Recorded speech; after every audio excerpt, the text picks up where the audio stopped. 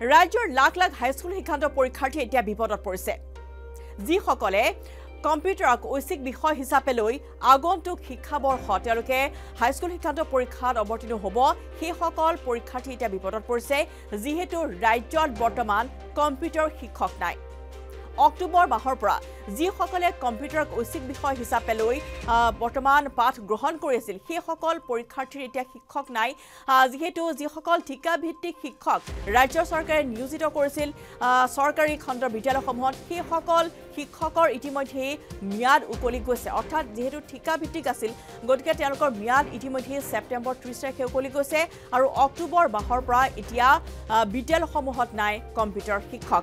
এই ক্ষেত্ৰত এতিয়া বিপদত পৰিছে শিক্ষাৰ্থীসকল তেওঁলোকে বাৰম্বাৰ ৰাজ্য চৰকাৰক আহ্বান জনাইছে শিক্ষা বিভাগক শিক্ষা মন্ত্ৰীক আহ্বান জনাইছে যাতে এই ক্ষেত্ৰত অতি শীঘ্ৰে এক বিহিত ব্যৱস্থা গ্ৰহণ কৰে।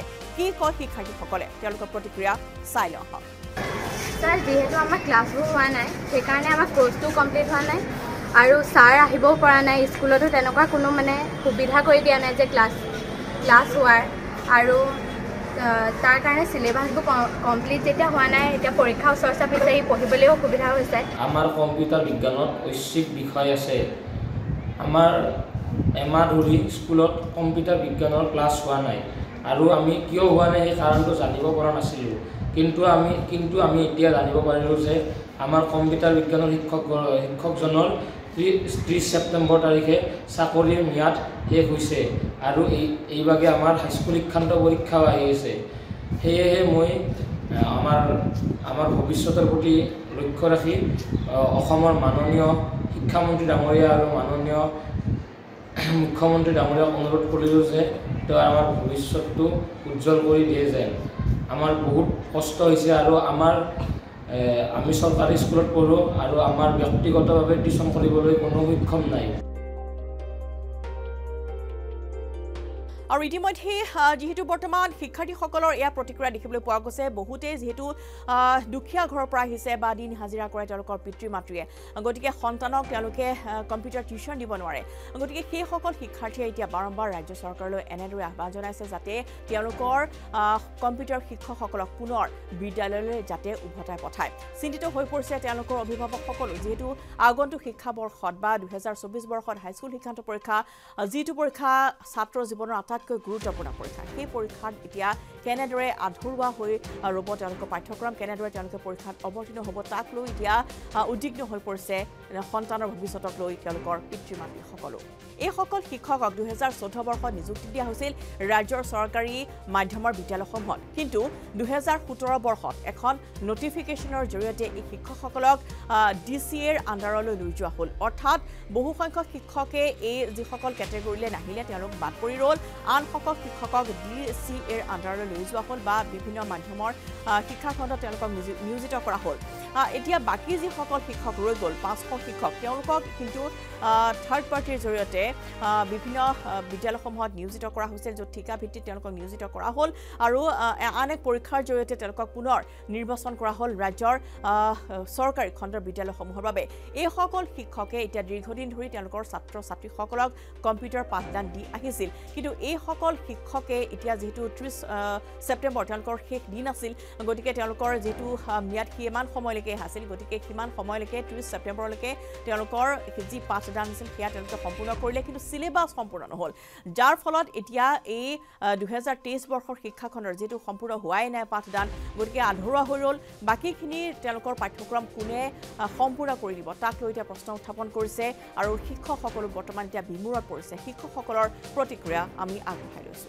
হয় দুহেজাৰ চাৰি চনৰ পৰা আমাৰ অসমৰ বিভিন্ন বিদ্যালয়ত ৰাজীৱ গান্ধী কম্পিউটাৰ লিটাৰেচাৰ আঁচনিখনৰ অধীনত কম্পিউটাৰ শিক্ষকসকলক নিযুক্তি দিয়া হৈছিল। কিন্তু পৰৱৰ্তী পৰ্যায়ত আপোনাৰ দুহেজাৰ সোতৰ চনত অসম চৰকাৰে এখন নটিফিকেশ্যনৰ আণ্ডাৰত আমাৰ কিছু কম্পিউটাৰক শিক্ষকক কম্পিউটাৰ শিক্ষকক আপোনাৰ ডি এছ চি আণ্ডাৰলৈ লৈ গ'ল।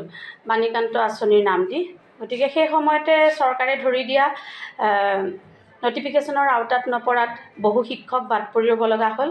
তাৰে কিছু সংখ্যক অৰ্থাৎ পাঁচশজন কম্পিউটাৰ শিক্ষকক থাৰ্ড পাৰ্টি অৰ্থাৎ এলপেয়াৰ্ছ নামৰ এটা কোম্পেনীৰ আণ্ডাৰত নিযুক্তি প্ৰদান কৰা হয়। সম্পূৰ্ণৰূপে পৰীক্ষা পাতি পেলাই। আৰু তাতে কি হ'ল আপোনাৰ সেই শিক্ষকসকলৰ ত্ৰিছ ছেপ্টেম্বৰত তেওঁলোকৰ ম্যাদ উকলি গ'ল। মানে কোম্পানীৰ লগত থকা যিটো এগ্ৰিমেণ্ট এগ্ৰিমেণ্ট শেষ হ'ল।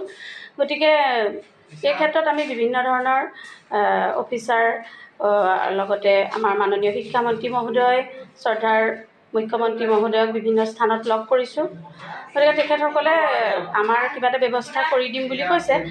আৰু এতিয়া দেখিবলৈ পোৱা গৈছে যে বিভিন্ন মেলে মিটিঙে বা বিভিন্ন জনসভা ৰাজহুৱা সভাসমূহত ৰাজ্যৰ মুখ্যমন্ত্ৰীগৰাকীয়ে ৰাজ্যৰ শিক্ষামন্ত্ৰীয়ে বিভিন্ন শ্লোগান দিয়ে যে ৰাজ্যৰ শিক্ষা খণ্ডত তেওঁলোকে কেনেদৰে উন্নতি কৰিব আন আন ৰাজ্যৰ সৈতে দেশৰ আন আন ৰাজ্যৰ সৈতে ফেৰ মাৰিব পৰাকৈ কেনেদৰে অসমৰ এইসকল শিক্ষাৰ্থীক লৈ আগবাঢ়িব তেনেধৰণৰ বিভিন্ন পৰিকল্পনা থাকে ৰাজ্য চৰকাৰৰ বিভিন্ন আঁচনি থাকে। কিছুদিন পূৰ্বে নৱম শ্ৰেণীৰ ছাত্ৰ ছাত্ৰীসকলক তেওঁলোকে চাইকেল বিতৰণ কৰিছে যাতে সময়মতে তেওঁলোকক বিদ্যালয় বিদ্যালয়ত যাতে উপস্থিত হ'ব পাৰে আৰু নিয়মীয়া পাঠদান যাতে গ্ৰহণ কৰিব পাৰে। এনেধৰণৰ বিভিন্ন আঁচনি তেওঁলোকে গ্ৰহণ কৰি আহিছে।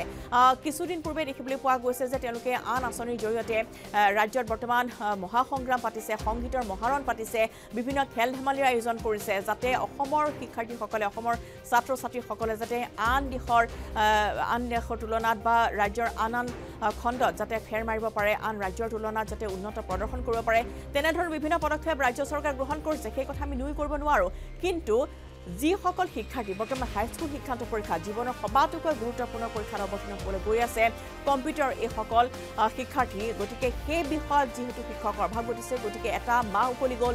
এতিয়া নৱেম্বৰ মাজৰ মাহ চলি আছে। এটা পোন্ধৰটা দিন গ'লেই অতিক্ৰম কৰি। গতিকে এই সময়ছোৱাত যাতে শিক্ষাৰ্থীসকল বিপদত পৰিছে এতিয়া বাৰম্বাৰ তেওঁলোকে আহ্বান জনাইছে ৰাজ্য চৰকাৰলৈ শিক্ষামন্ত্ৰীগৰাকীলৈ। ৰণোজ পেগুৱে বিভিন্ন ক্ষেত্ৰত বিভিন্ন খণ্ডত তেওঁলোকে তেওঁ শ্লোগান দি আহিছে বা প্ৰতিশ্ৰুতি প্ৰদান কৰি আহিছে যে শিক্ষাখণ্ডৰ উন্নতি সাধন কৰিব। কিন্তু এইসকল শিক্ষাৰ্থীৰ ভৱিষ্যত এতিয়া কি হ'ব? তেওঁলোকে যদি পৰীক্ষাত অৱতীৰ্ণ হ'ব নোৱাৰে কি হ'ব? তাক লৈ এতিয়া তেওঁলোক শংকিত হৈ পৰিছে উদ্বিগ্ন হৈ পৰিছে। গতিকে অসমৰ মুখ্যমন্ত্ৰী আৰু শিক্ষামন্ত্ৰীলৈ তেওঁলোকৰ আহ্বান যাতে অতি শীঘ্ৰে তেওঁলোকৰ শিক্ষকসকলক পুনৰ বিদ্যালয়লৈ উভতাই পঠায় আৰু যি আচলতে যি চুক্তি আছিল বা যি ম্যাদ আছিল সেয়া যাতে পুনৰ বৃদ্ধি কৰে। নহ'লে তেওঁলোকৰ চিলেবাছ বা তেওঁলোকৰ যি কোৰ্চ আছে সেয়া আধৰুৱা হৈ ৰ'ব আৰু তেওঁলোকে পৰীক্ষাত সুকলমে উত্তীৰ্ণ হ'ব নোৱাৰিব বা ভালদৰে পৰীক্ষাত অৱতীৰ্ণ হ'ব নোৱাৰিব। গতিকে আমিও আহ্বান জনাইছোঁ যাতে অসমৰ এইসকল শিক্ষাৰ্থী যিসকলে কম্পিউটাৰক ঐচ্ছিক বিষয় হিচাপে লৈ এতিয়া আগন্তুক দিনত হাইস্কুল শিক্ষান্ত পৰীক্ষা যিহেতু বেছি দিন নাই মাত্ৰ ফেব্ৰুৱাৰী মাহলৈ মাজত আৰু দুটা মাহ বাকী আছে।